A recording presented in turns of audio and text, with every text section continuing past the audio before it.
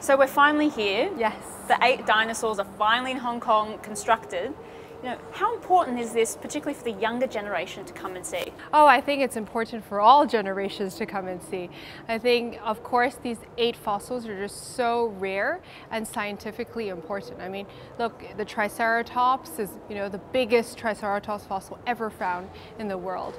And I think there's so many um, new breakthroughs that we share in this exhibition that we hope we can inspire everyone um, and actually realize that, oh, we might think that, oh, a lot of things we know about dinosaurs has already been discovered and found, but there's actually so much we don't know. These are still like very exciting questions that we, we have not yet, you know, really unraveled yet. So I think um, really how the young generation will be inspired and have this kind of uh, curiosity, want to incite curiosity and just have fun, you know, have fun while learning. I think that's very important. You know, I can only imagine this would be amazing uh, for all ages, but particularly for young kids who have been doing a lot of uh, homeschooling during COVID to then come to a museum and to see actual dinosaurs. This is very, you know, extreme and amazing for these kids. Yeah, for sure. I think all of us stuck at home, it's such a big contrast.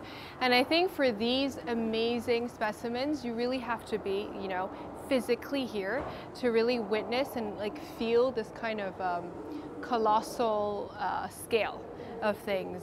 And I think it's very important that um, they can also interact with a lot of exhibits and I think this one is really a, a very uh, special design.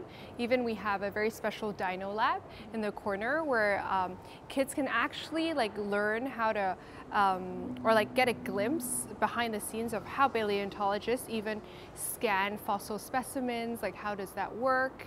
You know, there, I think it's gonna be really quite fun and a lot of hands-on activities, yeah.